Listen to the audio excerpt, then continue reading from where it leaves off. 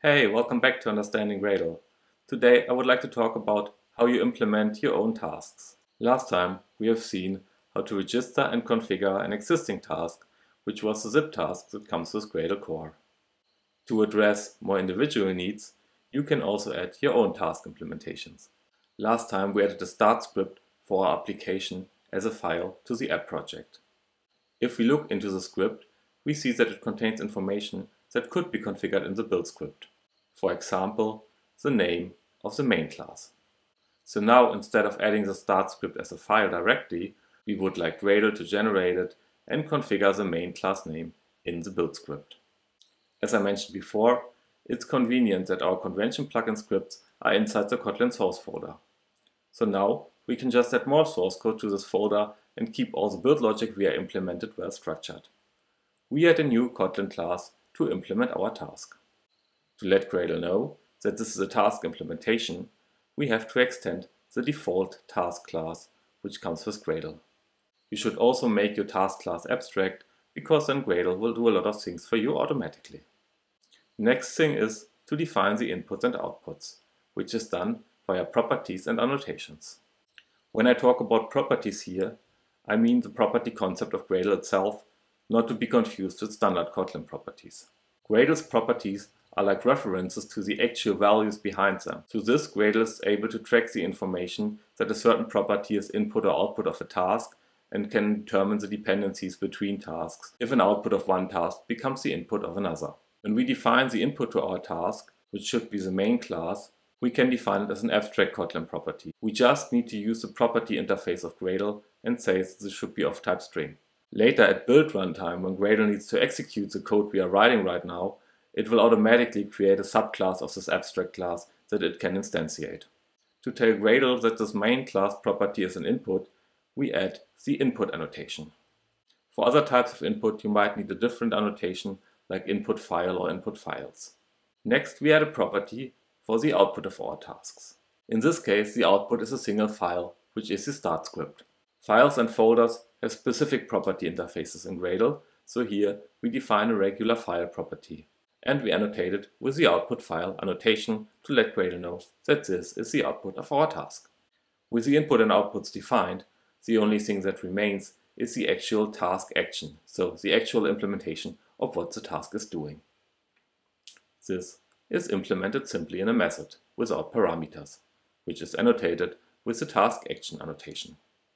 Inside this method you write normal Kotlin code and there are very little Gradle specifics you need to be aware of.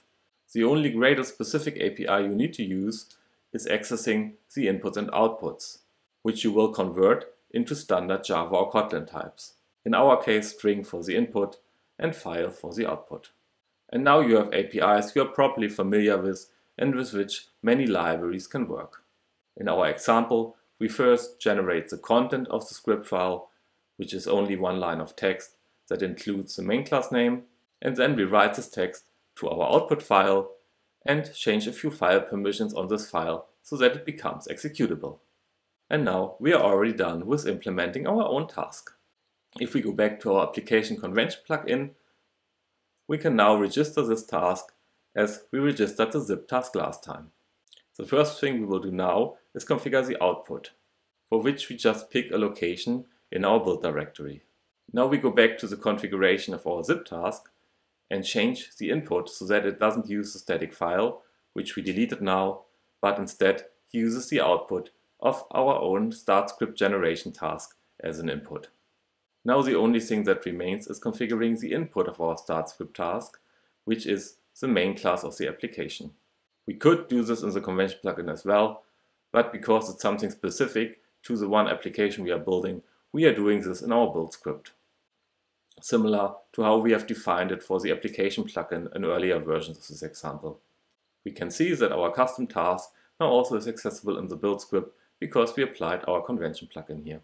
If we run our package app zip task now, we can observe that our own start script generation task was also executed, because it is an input to the package app task.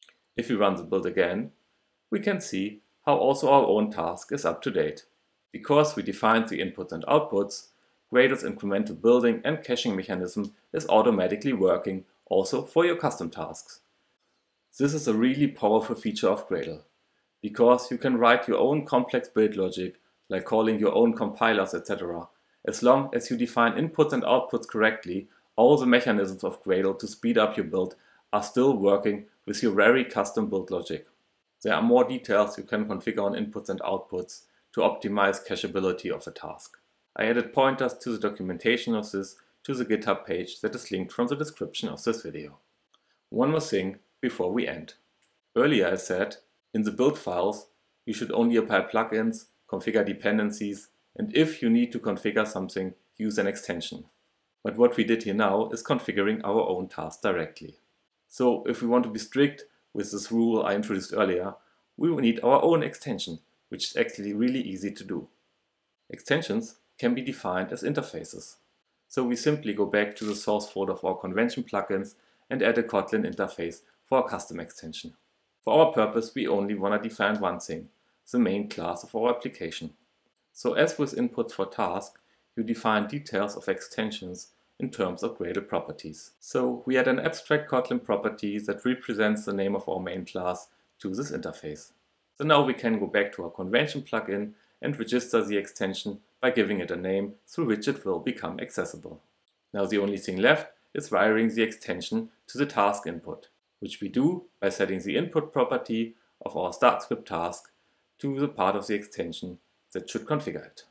For this, we can use convention instead of set, which means that this value will always be used as a default fallback if the task is not further configured, but if you should still configure the task for whatever reason, the fallback will be ignored. Now, if we go back to our build script, we see that now the extension becomes available and we can configure our tasks there and building our application still works. That's it. As you see, implementing your own build logic and tasks in Gradle isn't too hard if you understand the concept of inputs and outputs. If you follow this advice, the task will automatically integrate with other existing tasks, Gradle will know when to call it and also use incremental building and caching with your custom task. We also learned that it's pretty easy to add your own extension if you want to make custom details configurable in build scripts. That's it. Have a look at the video description to find a link to a GitHub project that contains all the examples of all the videos so you can try things out yourself. Also, consider subscribing to this channel. See you next time.